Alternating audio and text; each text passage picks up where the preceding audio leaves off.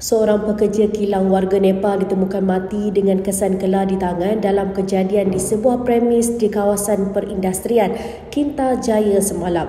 Mayat lelaki berusia lingkungan 30-an itu dijumpai di atas bumbung premis yang dijadikan asrama pekerja kira-kira pukul 8 malam.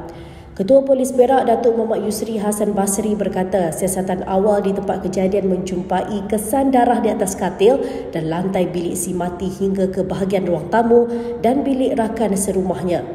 Katanya mayat lelaki itu dijumpai dalam keadaan terbaring di atas bumbung luar bilik rakannya. Menurut Muhammad Yusri, tempat kejadian merupakan gudang menyimpan peralatan proses ayam dan ayam daging di mana tingkat satu dijadikan sebagai asrama tiga bilik yang didiami dua pekerja warga asing. Katanya mayat si mati dihantar ke Jabatan Forensik Hospital Raja Pemaisuri Bainon untuk bedah siasat bagi mengenal pasti punca kematian.